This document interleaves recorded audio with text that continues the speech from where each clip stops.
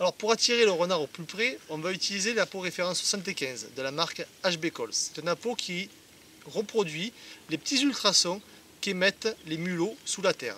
Il faut savoir que le renard se nourrit exclusivement pratiquement de mulots en été, hein, ou en tous les cas 80%, et donc c'est une proie qui va vraiment venir chercher. Donc pour pouvoir utiliser cet appôt, je vais souffler dans la partie en bois, et en même temps que je souffle, je vais prononcer le mot fit, fit, fit. Très important de finir par le T qui va bloquer le son. Ça va vraiment reproduire à merveille les petits ultrasons des mulots.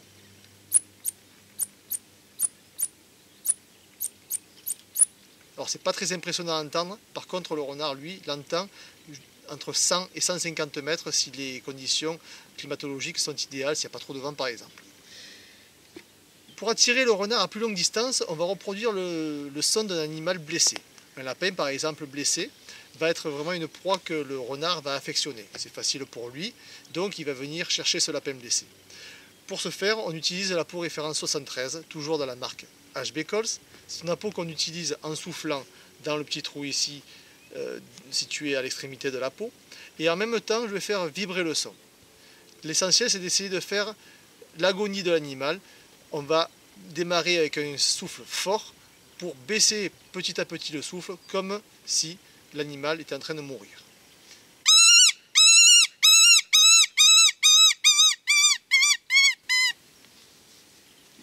Les oiseaux blessés sont aussi des proies faciles qu'on va reproduire grâce à la peau référence 83. Cette peau s'utilise en aspirant par la partie en bois tout en raclant la gorge.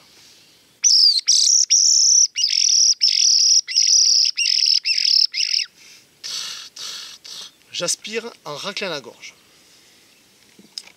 Toujours pour reproduire le son d'un oiseau blessé, j'ai la référence 91 qui va s'utiliser de la même manière que le premier, mais qui va être un appôt qu'on va pouvoir utiliser pour une portée plus importante. C'est l'oiseau blessé longue portée. Toujours pareil, on aspire de ce côté de la peau en raclant la gorge.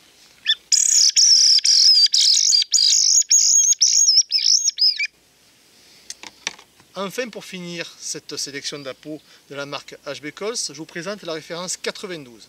C'est un appôt qui va imiter l'appel du renard. Le renard est un animal très discret, qu'on entend très rarement, sauf au moment du rut.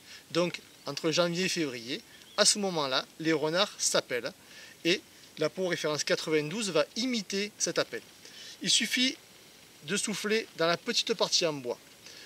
Très important, c'est de bien positionner la peau dans la main de manière à pouvoir fermer le son une fois qu'on aura prononcé le mot aou en aspirant.